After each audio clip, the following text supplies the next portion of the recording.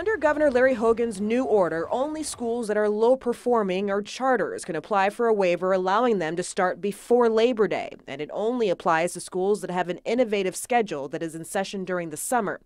Districts that had 10 days of weather related closings twice in the past five years can apply as well. Children shouldn't be used as pawns. Baltimore County delegate and chair of the House Education Committee, Adrienne Jones, feels strongly that the governor's order oversteps his authority on an issue that should be left up to local school boards. I think that uh, it is an overreach and uh, and at the same time, we are going through, there's a review looking at it from a legal standpoint. We haven't gotten that back yet.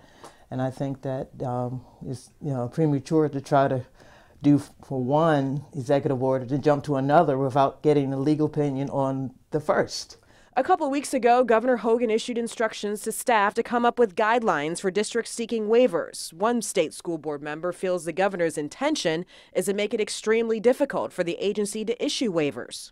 I think he's undermined his own state board of education, and I think he's made it harder for Maryland educators to do what a great many Maryland kids need, which is, uh, frankly, more schooling, not less.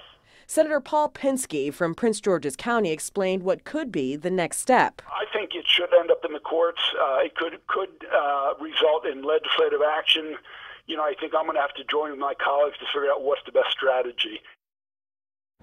And so that state school board member, of course, and the lawmakers we spoke with want local districts to make the decision. But a Goucher poll conducted last month showed that most people surveyed support starting school after Labor Day. Those numbers break down to 68% to 19%.